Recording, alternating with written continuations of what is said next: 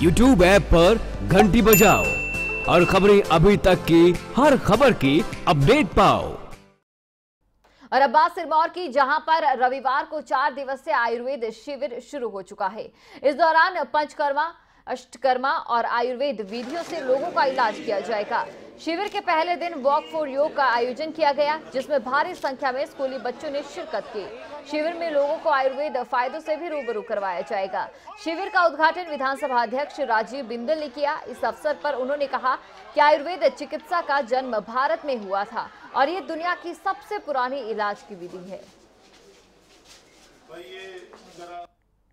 दिवस के मौके पर जिला सिरमौर में, नाहन में आज 17 तारीख को दो विशेष कार्यक्रम शुरू किए गए हैं।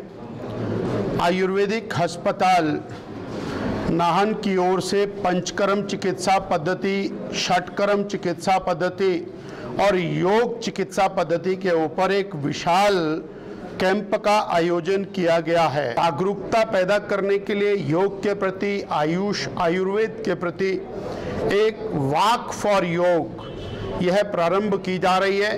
पूरे नाहन के अंदर सैकड़ों की संख्या में और बालक से लेकर के वृद्ध तक इस दौड़ में दौड़ेंगे और समस्त समाज को जागरूक करने का प्रयास करें